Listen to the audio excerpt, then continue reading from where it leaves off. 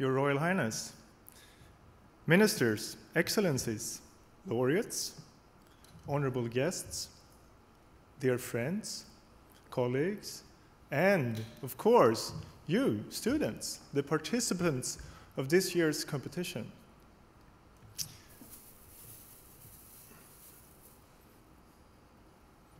This, my friends, is not an apple. It's 100 liters of water. And just, or at least it's representing 100 liters of water. When we think about the water required to produce one single apple, and I eat quite a lot, so just imagine the water needed to grow the food that I eat every day. And then think about 7 billion people eating all over the world. And then, as Peter mentioned, think about an extra 2 billion people during my lifetime. How much water do we need to feed these people? A, a lot, of course. So I brought this apple as a reminder of this year's uh, theme for the World Water Week, talking about water and food security. And it also tells us that there will be problems in the future related to water. So the water sector is something to continue with for you as students, to study at universities, to do research perhaps. So I really encourage you to continue in the water sector and especially dealing with issues on food, water, energy, and ecosystem services. Those are really needed those areas need more knowledge and students like you. Ladies and gentlemen, this is not an apple. This is a symbol of knowledge in many cultures. And knowledge is exactly what I've seen these two days when I met all you students. And we, I think I can speak on the behalf of my fellow jury members, we are amazed by all the knowledge you already possess at such a young age. And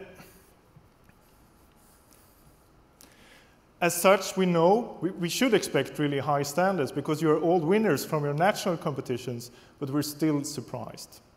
And to continue now, I need another object. And this, ladies and gentlemen, is not an orange. This is a symbol of all the difficulties we had in the international jury this year. So if I combine it with the apple, it was really like choosing between apples and oranges because your projects are so diverse and it's really hard to compare them.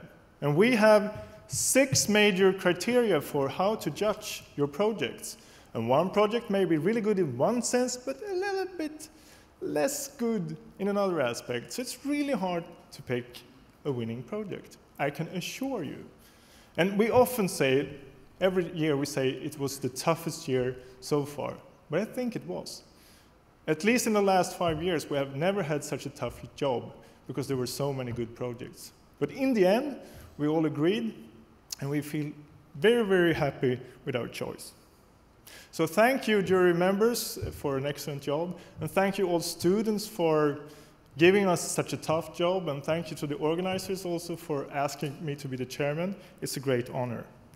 And talking about all these apples and oranges, I think it's really a good thing that they are so diverse and that you come from so many different backgrounds and you represent so many disciplines and subjects in school, from chemistry, bio biology, political science, etc., etc. Because this is what we need in the future to solve these problems in the future that Peter and I talked about in our speeches.